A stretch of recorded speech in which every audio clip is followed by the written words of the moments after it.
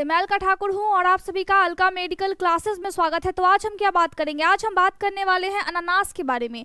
ये होता क्या है? ये सबको पता है। फल होता है जिसको खाना होता है। लेकिन यहाँ पे दिक्कत क्या होती है कि आप इसको साल में बहुत कम टाइम खाते हो और शायद आप नहीं भी खाते हैं। बहुत से लोग ऐसे होते हैं जो कि नहीं खाते हैं। किसी किसी को ये नहीं पसंद, क्योंकि इसमें मेहनत ज़्यादा होती है और इसको अच्छे से काटना और छिलना पड़ता है तो फिर दिक्कत होती है आपको। अब होता क्या है, ये आपकी बॉडी के लिए बहुत अच्छा है। मैं ऐसा क्यों बोलूँ? क्योंकि जब आप इसको खाएँगे या फिर जब आप इसका जूस पीते हैं, खाली पेट नहीं पीना है, क्योंकि ये किसमें आता है? ये आता है आपका साइट्रिक फ़ूड में। और जो साइट्रिक फ़ूड होता है, वो क्या होता है? उसकी जो एसिडिटी होती है, वो ज़्यादा होती है। जब आप उसको खाली पेट खाते हैं, जैसे कि अनानास हो गया या फिर जैसे कि संतरा हो गया, मौसमी हो गया, वो सारी चीज़ें की वजह से, चीज़ों की वजह से क्या हो जाता है? आपको जब खाली पेट में, ढेर सारा उसको जब आप खाते हैं तो आपके पेट में गैस बनता है और दिन भर गैस बना हुआ रहेगा। क्योंकि उसकी जो एसिडिटी होती है, वो उस खाने की, वो थोड़ी सी ज़्यादा होती है। जब आप अनानास का सेवन करते हैं तो उस टाइम में आपके बॉडी में क्या हो जाता है? आपके बॉडी में क्या जाता है? ब्रोमिलीन जाता है। ठीक है, यहाँ पे मैं लिख देती हूँ। चलिए।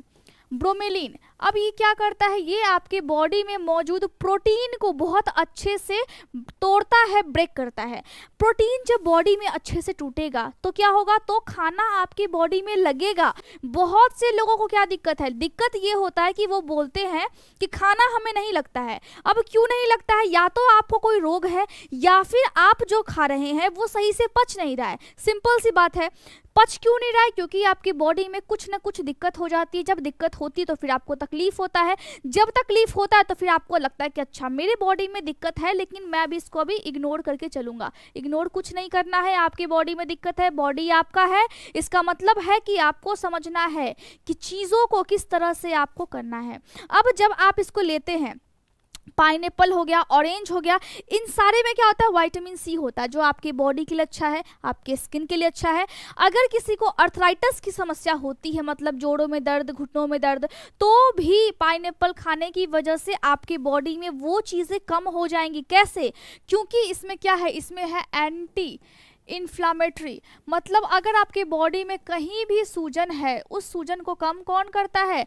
उस सूजन को कम करने की क्षमता रखता है ये आपका पाइनएप्पल ठीक है? इतना समझ में आ गया? अब देखिए, बहुत से लोगों को क्या दिक्कत है कि उनके फेस पे एकने हो जाती है। फेस पे दाने होते हैं। कम उम्र में ही आपके जो फेस है, वो एकदम यंग नहीं दिखता है। चमकता हुआ नहीं दिखता है तो क्यों ऐसा होता है? दूसरे को आप देखते हो, वो चमक रहा है, उसका फेस चमक रहा है, लेकिन आपका नहीं चमकता है। ऐसा क्यों होता है? देखिए बहुत से लोग ऐसे होते हैं बहुत सी लड़कियाँ ऐसी होती हैं जो कि मेकअप को यूज़ करती है। उसमें फाउंडेशन आता है आपकी आँखों पे लगाने वाली आ, शायद आई शेडो आती है आईलाइनर आता है तो वो सारे चीज़ों में जो हम नेल पॉलिश लगाते हैं उसमें क्या होता है? देखिए यहाँ पे दिक्कत क्या होता है कि हम समझते नहीं है। जो भी क्रीम होता है जो भी कॉस्मेटिक्स की चीज़ें होती है उस पर एक्ट लागू होते हैं लेकिन अभी भी गवर्नमेंट उतना ज़्यादा जागरूक नहीं है कि उन चीज़ों पे वो पूरी तरह से लगाम लगा सके या फिर उन चीज़ों का अच्छे से वो मूल्यांकन करे।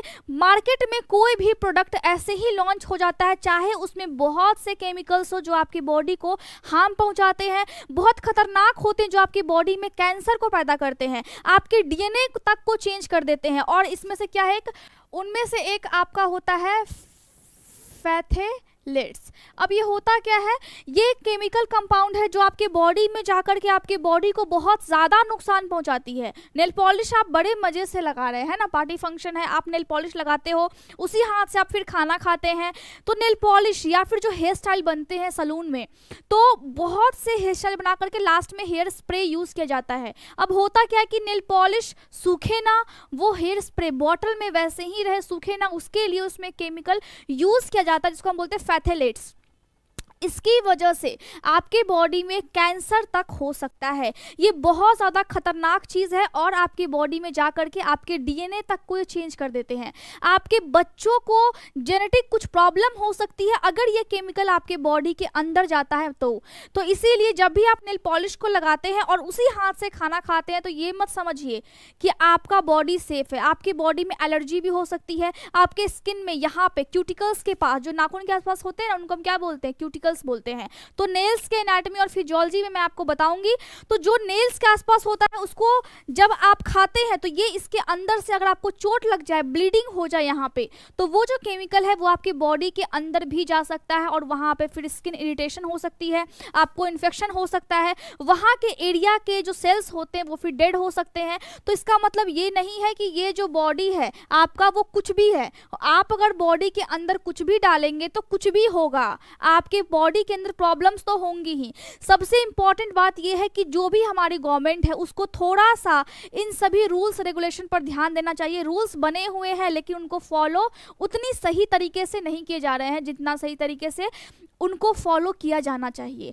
जो भी केमिकल्स होते हैं, जो भी कंपनी होती है, वो आपके बॉडी में, आपकी बॉडी में क्या चेंजेस हो रहे हैं, किस तरीके से हो रहे हैं। इंस्टेंट चेंज नहीं होता है। बॉडी में कुछ समय के लिए वो रहता है वो केमिकल जैसे कि लिपस्टिक हो गया। अब बहुत सी महिलाएँ क्या करती हैं? लिपस्टिक को लगाती हैं, लगा करके सो रही हैं, लगा करके कुछ भी खाती हैं। तो जब लिक्विड आपकी बॉडी के अंदर जाता है, आपका सिलाइवा यहाँ पे, आपका टंग यहाँ पे टच होता है। आपके सिलाइवा से वो फिर आपकी बॉडी के अंदर जाता है, उसमें क्या होता है? उसमें आपका होता है, सॉरी, सिंथेटिक देखिए यहाँ पे। सिंथेटिक, यहाँ पे मैं आयरन लिखने वाली थी। सिंथेटिक चीज़ें होती है, सिंथेटिक। सिंथेटिक आयरन सल्फाइड होता है। अब बताने का रीज़न क्या है मैं आपको बता रही हूँ? सॉरी आयरन सल्फाइड नहीं iron oxide synthetic iron oxide होता है, ठीक है? रीज़न क्या है मैं आपको बताती हूँ। जो एकने होता है, जो कम उम्र में ही आपके जो स्किन है, वो बहुत डल सा दिखने लगता है। तो क्यों लगता है? सिंथेटिक आयरन ऑक्साइड की वजह से क्या होता है कि आप लिपस्टिक लगा रहे हैं, वो आपकी बॉडी के अंदर जा रहा है। तो क्या हुआ? जब ये आयरन आपकी बॉडी के अंदर जाता है तो एक टाइम आपके बॉडी के अंदर गया, दो टाइम गया, अब आप क्या कर रहे हो? आप डेली बेसिस पे आप लिपस्टिक को यूज़ करते हैं, ठीक है? ये चीज़ें हो गई। अब बॉडी के अंदर धीरे धीरे जाकर के हेवी मेटल्स जमा होना शुरू हो जाएगा, ठीक है? हेवी मेटल्स क्योंकि आयरन क्या है? आयरन मेटल है। जब हेवी मेटल जब आना शुरू हो जाता है तो आपकी बॉडी में फिर लेड पॉइजनिंग हो जाती है। एलईडी लेड पॉइजनिंग अब आप खुद सोच लीजिए कि आपके बॉडी के अंदर जो लेड पॉइजनिंग हो रही है, वो एक टाइम में नहीं हो रही है, वो समय के साथ होती है। जब भी आप सोचते हो कि आप बहुत अच्छे दिख रहे हो, आप मेकअप करते हैं, आप जवान हैं, आपको नहीं समझ में आता है। लेकिन जैसे ही आप 25 या फिर जैसे ही आप 30 क्रॉस करते हैं, आपका स्किन अचानक से दो तीन साल में बहुत ज़्यादा डल हो जाता है।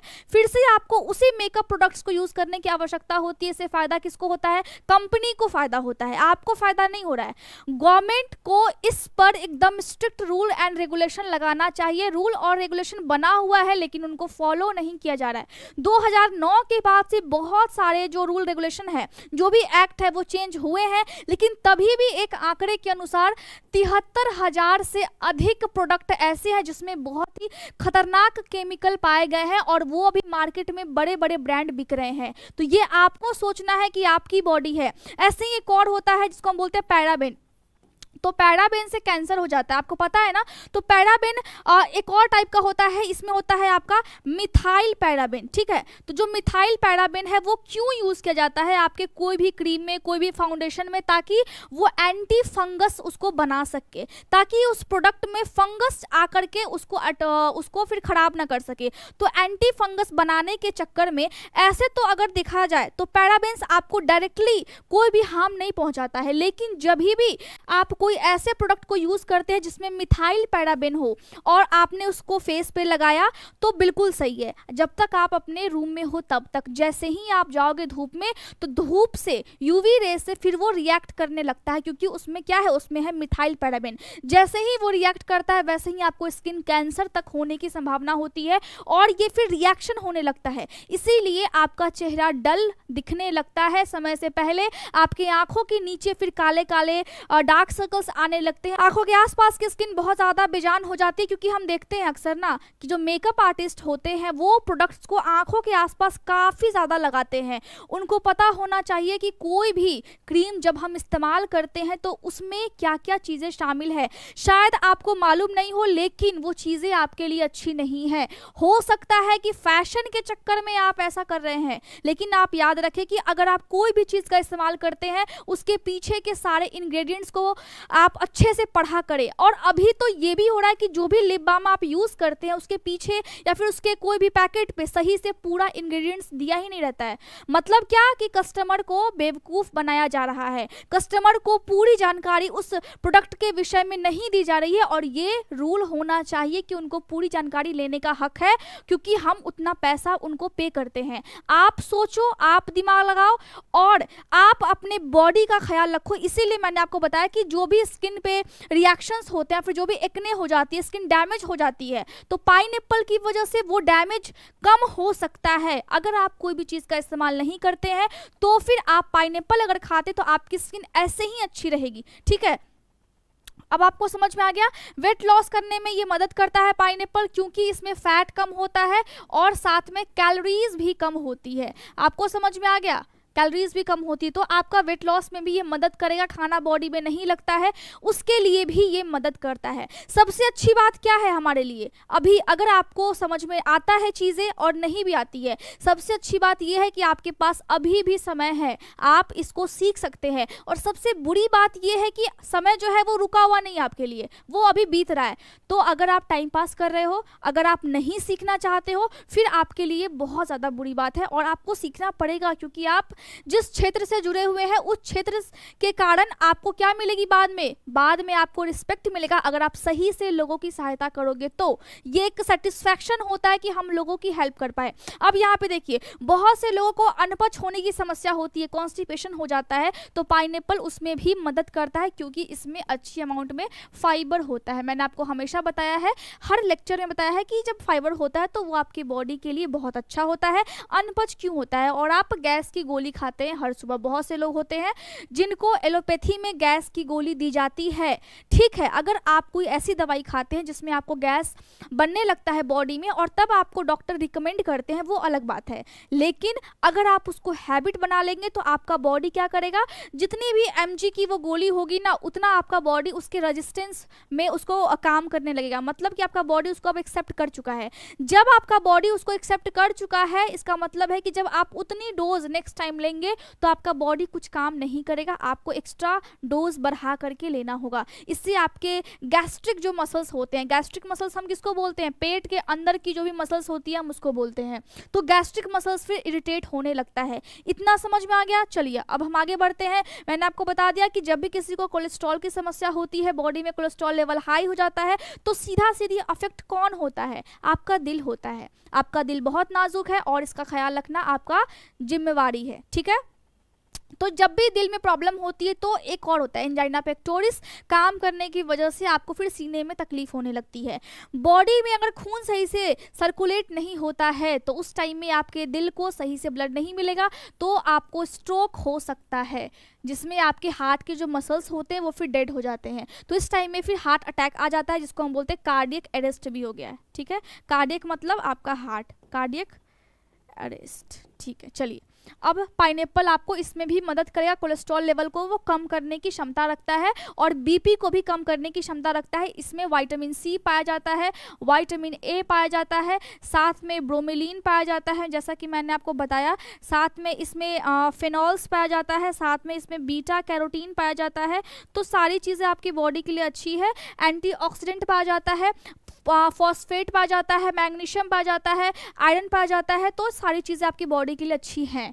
और अच्छी अगर कोई भी चीज़ होती है तो आप उसका इस्तेमाल करें, भरपूर लाभ उठाएँ। क्यों? मैंने सही बोला ना? अब देखिए, आपकी आँखों की रोशनी के लिए भी बहुत ज़्यादा अच्छा होता है। अब होता क्या है कि एक और चीज़ होती है। लड़कियाँ, आजकल क्या ट्रेंड में है? मैंने देखा था यूट्यूब पे कि जब भी आप धूप में निकले तो सनस्क्रीन लगाए। सनस्क्रीन लगाना बहुत अच्छी बात है, आपको अपने चेहरे को प्रोटेक्ट करना चाहिए। लेकिन वैसे सनस्क्रीन वैसे आप कोई भी प्रोडक्ट इस्तेमाल करें जिसमें कोई भी केमिकल ना हो या फिर जो धूप में जाकर के रिएक्ट ना करते हो। एक और केमिकल होता है जो बहुत ज़्यादा यूज़ हो रहा है ऑक्सीबेंजोन बहुत सारी कंपनियाँ ऐसी हैं जो आपकी बॉडी के लिए नहीं सोचती हैं, लेकिन वो अपने प्रोडक्ट्स को बहुत अच्छे तरीके से बेचती है और बड़े बड़े ब्रांड ऐसा करते हैं। अब होता क्या है कि ये चीज़ आपके सनस्क्रीन में मौजूद होता है। जब ये मौजूद होता है तो ये आपके स्किन को ख़राब करना शुरू कर देती है, जिसकी वजह से आपका स्किन बहुत ज़्यादा डल होता है। समय से पहले आपके स्किन पर रिंकल्स आने लगते हैं, आप उतने जवान नहीं दिखते हो। लेकिन अगर आप पाइन खाते हैं तो आपकी बॉडी में ये फ़ायदा करेगा और आपकी स्किन भी बहुत अच्छी होगी, आपके आँखों की रोशनी भी बहुत अच्छी हो जाती है। आँखों की रोशनी के लिए भी बहुत अच्छा है क्योंकि इसमें वाइटामिन ए अच्छी अमाउंट में पाया जाता है। अब आपको समझ में आ गया कि क्यों बहुत ज़्यादा अच्छा है प्राकृतिक चीज़ें। कुछ चीज़ें ऐसी होती है, कुछ मेडिसिन ऐसे होते हैं जिसमें केमिकल्स यूज़ किए जाते हैं, लेकिन उनके भी एक लिमिट है कि आप अपने बॉडी में किसी भी चीज़ को एक लिमिट तक ही अपने बॉडी के अंदर इनटेक कर सकते हैं। बॉडी के बाहर और बॉडी के अंदर दोनों चीज़ें अगर अफेक्ट होती है आपकी बॉडी इससे जो भी आप लगाते हो तो बॉडी का बाहर चीज़ बॉडी का बॉडी का जो बाहर का सरफेस है वो और बॉडी के अंदर का जो इन्वायरमेंट है, दोनों अलग अलग है। जब भी दवाई बनती है तो बॉडी के अंदर के इन्वायरमेंट के हिसाब से ख्याल रख के दवाई बनाया जाता है, लेकिन जब भी बाहर का चीज़ बनता है तो वो सिर्फ़ आपके बॉडी के बाहर के पोर्शन का ध्यान में रख करके ही बनता है। तो अगर आपकी बॉडी के अंदर कोई भी चीज़, बाहर वाली कोई भी चीज़ अगर अंदर जाती है, जैसे कि लिपस्टिक हो गया, वो बाहर लगती है, अंदर नहीं और अंदर अगर गई तो फिर दिक्कत हो जाता है। अगर आप जो भी चीज़ अपने स्किन पे लगाते हो, लगभग 60 प्रतिशत आपका जो स्किन है उसको एब्जॉर्ब कर लेता है। तो अगर आप फाउंडेशन भी बहुत लंबे टाइम तक लगाते हो, जो लड़कियाँ लगाती हैं ना बहुत ज़्यादा फेस पे तो फेस तो आपका अच्छा है। वो चीज़ें बनी इसलिए थी कि आप उसको कम अमाउंट में यूज़ करें कभी कभी करें। लेकिन होता क्या है कि केमिकल्स होते हैं, बहुत चीज़ों में केमिकल्स है जो आपकी आँखों की रोशनी तक छीन सकता है और आई वैसा ही है। उसमें जो केमिकल्स होते हैं, वो आपकी आँखों की रोशनी को भी ख़राब कर सकते हैं। तो ऐसे प्रोडक्ट्स का इस्तेमाल करें जो कि या तो नेचुरल बेस्ड हो और या उसमें जो केमिकल्स हो, वो आपकी बॉडी को कोई भी हार्म ना पहुँचाए। पीछे में लिखा हुआ सारा चीज़ आप पहले पढ़े, उसके बाद कोई भी प्रोडक्ट आप खरीदे। ये बात आपको ध्यान रखना है और इसीलिए आपको पाइन हो गया या फिर जो भी नेचुरल फूड्स हो गए, वो आपको खाना चाहिए क्योंकि ये आपकी बॉडी के लिए बहुत अच्छा है कोलेजन को बढ़ाता है, जो आपको यंग बनाता है। आपको समझ में आ गया कि क्यों आपकी बॉडी के लिए नेचुरल चीज़ें ही बहुत ज़्यादा अच्छा है। उससे ही आप बहुत यंग दिखेंगे, उससे ही आपका चेहरा इतना चमकेगा, लोग पूछेंगे, कौन सी क्रीम लगाई हो? है ना? तो मैं समझती हूँ कि आज आपको समझा दिया मैंने, नोट्स आपको टेलीग्राम पर मिलते हैं और कोई भी डाउट हो आप पूछ सकते हो, पहले वाले कमेंट में उसका लिंक होता है, डिस्क्रिप्शन में सारी चीज़ें दी गई हैं, आप जा करके वहाँ से देख सकते हैं। Thank you so much.